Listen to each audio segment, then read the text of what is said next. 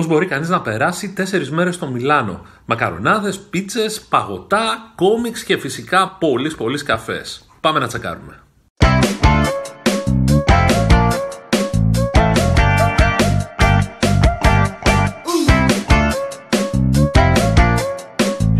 Πρώτη στάση είναι το Borsa del Fumeto.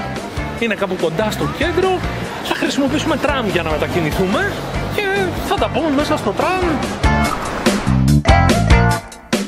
Το συγκεκριμένο τραμ είναι ξύλινο, έχει γυάλινους γλόμπους για φωτισμό και λειτουργεί από τις αρχές του 1900 non-stop. Κάτι σαν τα δικά μας τα λεωφορεία του ΟΑΣΤ ένα πράγμα. Λοιπόν, για να δούμε λίγο το χώρο, να περιηγηθούμε λίγο στο χώρο και θα, θα τα πούμε. Έχει ωραία πράγματα. Τα περισσότερα είναι μεταφρασμένα να πούμε. Στην Ιταλία έχουν πολύ μεγάλη σχολή από κόμιξ. Γενικώς τους αρέσει πάρα πολύ.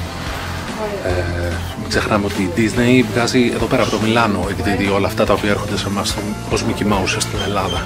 Εδώ και χρόνια βγαίνουν από την Ιταλία. Λοιπόν, για να δούμε. Βλέπω εκεί πέρα μια εξαιρετική συλλογή το Πολίνο. Πάμε να τα τσεκάρουμε όλα αυτά ένα-ένα. Το Πολίνο στα Ιταλικά σημαίνει ποντικάκι και είναι η επωνυμία του δικού μας Mickey Mouse. Από το συγκεκριμένο μαγαζί έφυγαμε ένα Πολίνο λοιπόν και ένα κόμιξ της Τζοβάνα Κασκότο. Λοιπόν, πώς ήταν η εμπειρία, ήταν ωραίο μαγαζάκι το πρώτο. Ψάχνουμε τώρα να βρούμε να πιούμε ένα καπουτσίνο κάπου εδώ γύρω τριγύρω. Όπου βρούμε, το πρώτο. Το πρώτο μαγαζί που βρούμε θα μπούμε μέσα και θα πιούμε καπουτσίνο. Θα ζητήσουμε τουλάχιστον. Ε, δεν μπορούμε να ξεφυλίσουμε φυσικά το κόμικ της Τζοβάνα Κασότο γιατί θα μας. Όχι, θα φάμε μπάναυλο από το YouTube και εγώ δεν ξέρω τι θα γίνει. Όσοι την ξέρετε, την ξέρετε φυσικά. Όσοι δεν την ξέρετε, ψάξτε τη στο ίντερνετ. At your own risk. Ε, το πιο παλιό τεύχος του Τοπολίνο που αγοράσαμε ήταν το 238 και το πήραμε μόλις για 25 ευρώ. Όχι πολύ καλή κατάσταση ωστόσο, αλλά εν πάση περιπτώσει είναι το πιο παλιό Τοπολίνο που θα έχω πλέον στη συλλογή μου και θα καφιέμαι γι' αυτό. Λοιπόν, έχουμε βρει και καφέ. Εδώ πέρα ένα το οποίο δεν λέγεται. Ποιο; Είναι, παιδιά, λέγεται Τρεμαρία. Λέγεται Τρεμαρία. Να το. Είναι, είναι, είναι official. Ήρθαμε να πιούμε τελικά στο Τρεμαρία καφέ. Να το θέλαμε δηλαδή, δεν θα το βρίσκαμε. Ε, όχι, δεν λέγεται τρεμαρίε. Το καφέ λέγεται τελικά bar, bar meeting. Όταν λέμε λοιπόν έχω ένα meeting, αυτό εννοούμε. Λοιπόν, πάμε να πιούμε καπουτσινό και θα τα πούμε μέσα. Κοιτάω, αλλού κοιτάω. Όπου να είναι κοιτάω.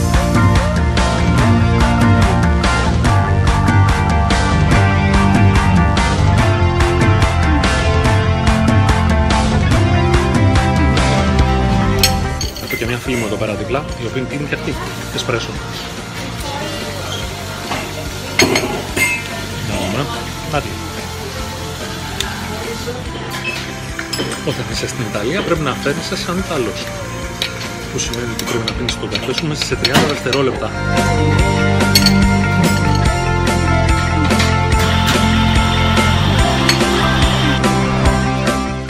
Για την επόμενη μας στάση είπαμε να χρησιμοποιήσουμε και πάλι το τραμ. Όμως...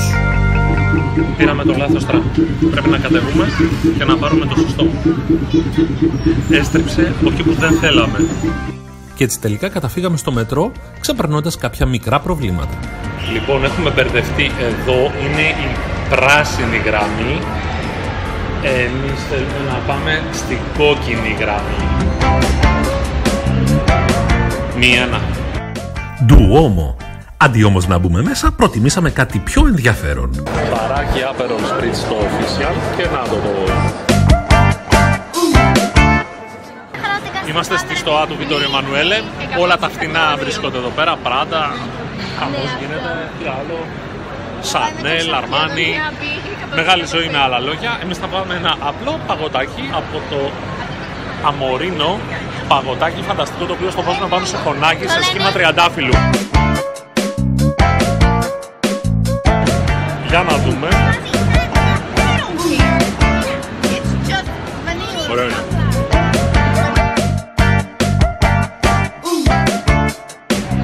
Μετά το παγωτάκι κατευθύνομαι για τη σκάλα του Μιλάνου. Του Μιλάνου, δηλαδή της πόλης του Μιλάνου, όχι το Μιλάνο που είχαμε στην ΕΡΤ Θεός Χωρέστον.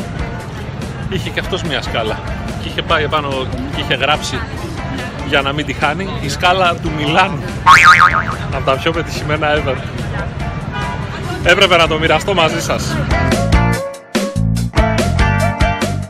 Έχουμε φτάσει λοιπόν στη σκάλα του Μιλάνου Teatro alla Scala Μια μαλακία και μισή. Χάλια. Χάλια. Δεν μου αρέσει καθόλου. Βέβαια μέσα όταν μπαίνεις αλλάζουν τα πράγματα, αλλά δεν μπορούμε να μπούμε μέσα. Δίπλα από τη σκαλά αποφασίσαμε να φάμε καρμποναρίτσα. Για να δούμε τι λέει.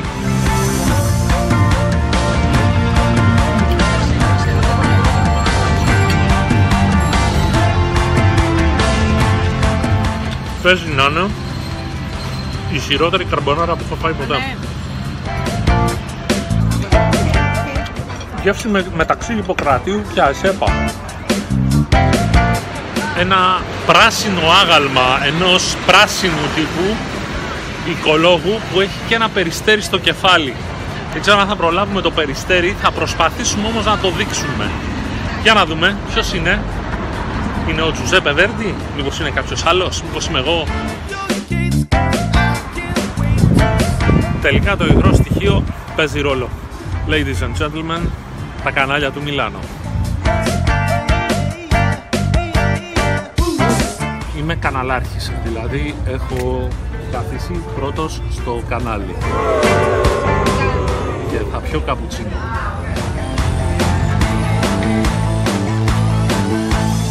Στο Μιλάνο υπάρχει καντίνα που πουλάει γλυκά για σκύλους. Ναι, ναι, ναι, γλυκά για σκύλους, δείτε. Επόμενη στάση, το Μουσείο Κόμιξ του Μιλάνο.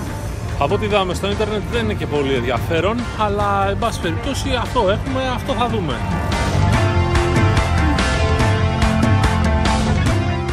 Λούπο Αλμπέρτο, τον θυμόμαστε από τις μεταφράσεις του μικρού παραπέντε νομίζω, για να δούμε.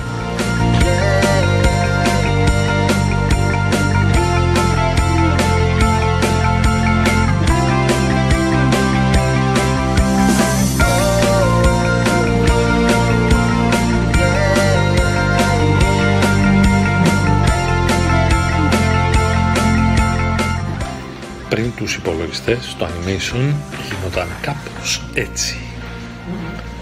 Πώς;